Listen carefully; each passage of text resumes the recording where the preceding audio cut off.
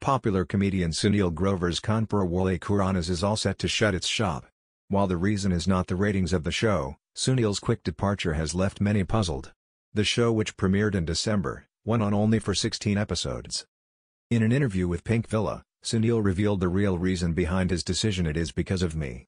I had signed the show for eight weeks only because my dates were locked for Bharat Salman Khan's film, the movie. I had made this clear even during the press conference and interviews that I could only accommodate this much time. I am kickstarting the last leg of shoot for Bharat from today, and I just want to thank the team who made this show happen including the channel and the guests who accommodated dates because of my schedule. Now as per a report in IBT, walking out of Kanpur Wale Khuranas might open old, familiar doors for Sunil. It's being said that Sunil might join Kapil Sharma's show once he wraps up Salman Khan's Bharat. Kapil has always maintained that the doors to his shows will always remain open for Sunil Paaji. He had also extended personal invites to Sunil for his wedding, but he couldn't attend due to prior work commitments. Sunil had later congratulated the couple on social media.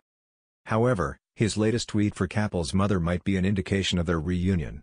It was earlier reported that Salman, who is co-producing the Kapil Sharma show this season is also keen on Sunil joining the show.